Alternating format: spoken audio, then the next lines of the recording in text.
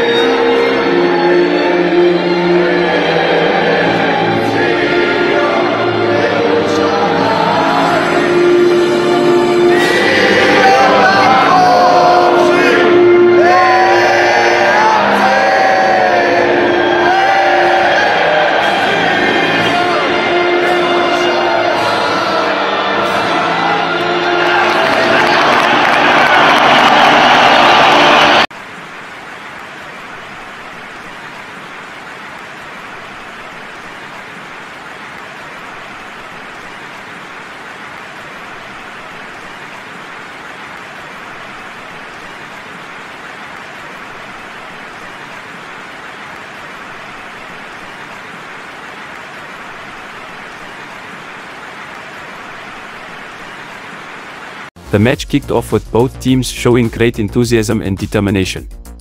Kosovo was eager to secure a victory and make their mark in the qualification campaign.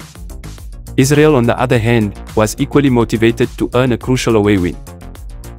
The first half saw a balanced exchange of possession, with both teams creating opportunities. Kosovo's attacking prowess was evident, and they were rewarded in the 41st minute when Milot Rashica found the back of the net. Rashica showcased exceptional skill and composure to capitalize on a defensive lapse by Israel.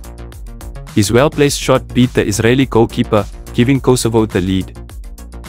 Israel attempted to mount a comeback but was unable to break through Kosovo's solid defense before the halftime whistle blew. The first half ended with Kosovo leading 1-0. The second half saw Israel increasing the intensity, desperately seeking an equalizer.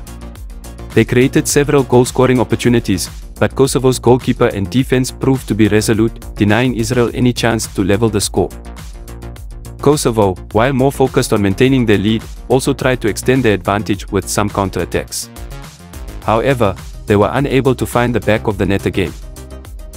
As the match progressed, tensions rose, and both teams displayed exceptional sportsmanship and commitment to their respective causes. Despite their best efforts, Israel could not find the elusive goal, and the match ended with a victory in favor of Kosovo.